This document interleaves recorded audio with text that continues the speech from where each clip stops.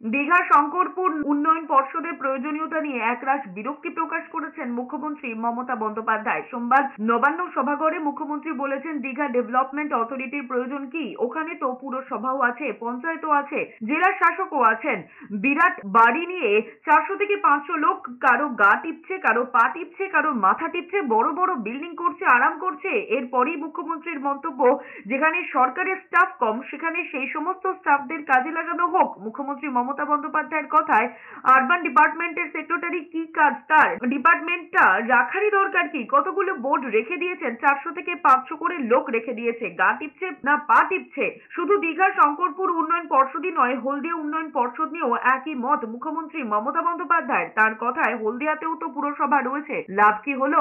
Urban ডিপার্টমেন্টের secretary কি কাজ স্যার ডিপার্টমেন্টে রাখারই দরকার কি? কতগুলো বোর্ড রেখে দিয়েছে? গা টিপছে না পা টিপছে? চারশো, পাঁচশো করে লোক রেখে দিয়েছে। তাদের তো ডেভেলপমেন্টের কাজ কভার হয়ে গেছে, ওভার হয়ে গেছে। দীঘা ডেভেলপমেন্ট অথরিটির প্রয়োজন আছে কি এখন আর? ওখানে তো মিউনিসিপ্যালিটিও আছে, পঞ্চায়েতও আছে ডিএমও আছে।